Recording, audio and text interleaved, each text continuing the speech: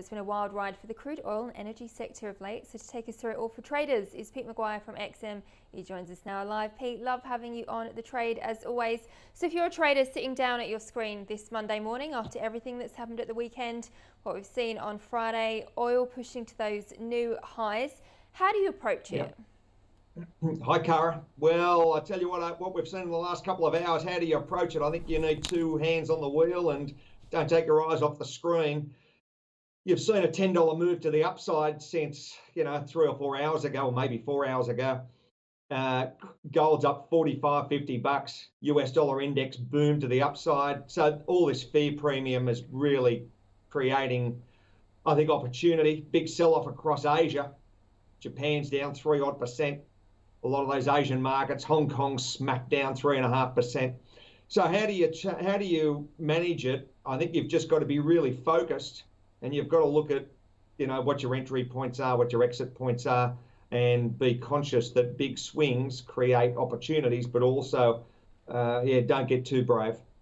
So do you go do you leverage up during this time or leverage down usually?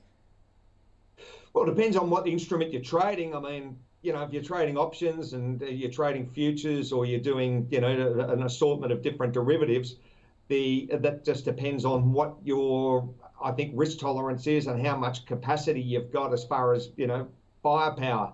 In other words, how much have you got in the bank?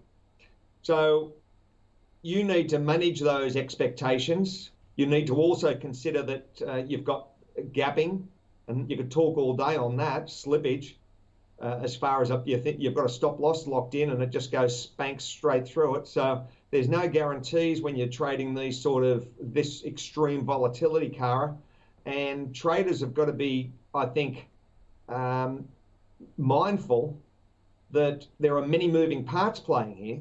You've got geopolitical concerns with Ukraine and Russia. You've got demand um, issues. If you put sanctions on Russia and 12 million barrels a day, you've got uh, equity market sell offs. You've got US dollar index boomed to the upside, 98. Now we're at 99.05, and and probably take 100 out this week. But, so I think that there's just so much bandwidth, and that's the excitement. I'm excited by it, and traders, as long as you use a, a sharp head, you you know you should do quite well out of it because there's movement. So talking of slippage, of course, gapping happens when markets are closed. So in this environment, how much risk do you take into those periods, like the weekend? Do you tend to scale back positions, or are you happy to sit on them? well, I think if you were, this is where very smart people. It's like holding real estate, you know, and you you held it in a rising market. It makes a, a deal look like a Nobel laureate, and makes a Nobel laureate that if it goes the other way, look like a deal if you would have held long crude the other day, say on Thursday, and you wake up today and you go, "Wow, what's happened?" Um, you know, you've just bought yourself a probably a very nice home. Um, you could go the other way, and you could have been short, and you didn't get out of the market, and now you've lost a home. So there's the that's the true. I think the, the conditions of these markets. I don't like holding positions over weekends. I think it's a very, very risky um, scenario. So yeah, you've got to be very, very you know cool head with this and uh, use a lot of knowledge. You can get a lot of knowledge from education sources and really just you know a level head at these times. Kara is advisable. At what point do you call it on a trade, Pete? You know, you've admitted that you were wrong in terms of direction. At what point do you, do you say, right, I'm getting out the trade? Well, you've got to know if you're in a futures contract, I'll knock you out if you haven't got any money in the account. So your margin. If you're in an option, um, again, you could be naked a futures position if you're selling options. Um, if you're buying, uh, you know, you've, you've got the premium there, then you know you know that you're limited downside. Depends on the instrument. Depends on how your um, how your oh, that's that's that's so difficult, Kara. I mean, everyone's got a different risk tolerance everyone's got a different understanding. I think you've just got to be really level-headed and don't think that things will bounce. You know, you, you've just if you if you've made the wrong decision, then get the hell out of there. And that's what your technicals have got to do. And in these times, these are extremely volatile periods. It's not a, oh, I don't think I've ever seen a $10 move in three hours on gold. Uh, oh, pardon me, on crude. 45 on gold in a matter of an hour or two. they're unusual times. These are very, very unusual. So if you if you're long crude at the moment, I know it's one of your favourite markets to look at. If you're long crude mm. and you're loving your trade, is it the right time now to take some profits? Do you think trim back on on some of those positions? It could be, but it, look, I I've just been talking to international people in the last half hour, and you've got some of the guys are saying 185s where you'll see crude. Many are saying a 150 handle. These are international banks. So, you know, I've, I've seen guys call it, and women, you know, analysts saying, oh, get out, you know, or, uh, I could tell you about 2008. You know, I, I, I've got many analysts that told me, get out at 105, and it went to 148. So, you know, you, you've got to be very, you, you've got to be watching it minute to minute.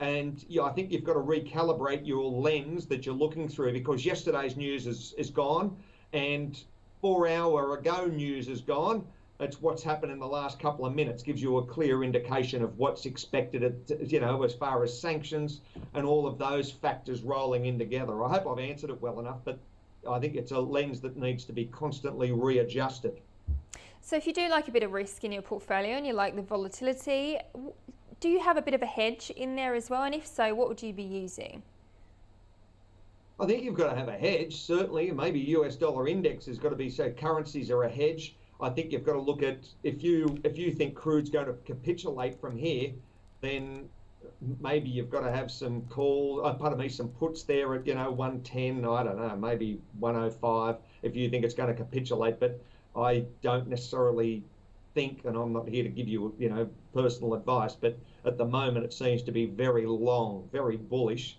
Um, so you've got to just look at what instruments you can use from a hedge perspective and that's an art in itself, uh, depending upon what instruments you prepare to hedge yourself with.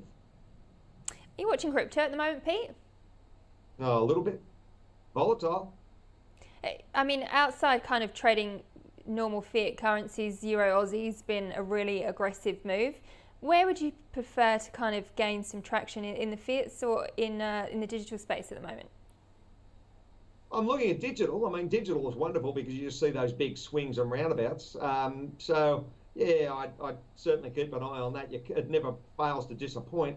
Have a look at gold, and that's giving you an indication as far as where we are with currencies. So there's plenty of fear out there. So yeah, look at your fiat currencies, look at your naturally your crypto, and take it all together and um, try and appreciate all of those components that make up the um, I suppose, the landscape at the moment. Pete, I know um, you love talking to other traders. You said you were just chatting to a few international players. How important is it yeah. to stay in touch with other traders during this time, during these volatile periods when anything can happen, mm-hmm. keeping on top of news, but also not isolating yourself when you're trading?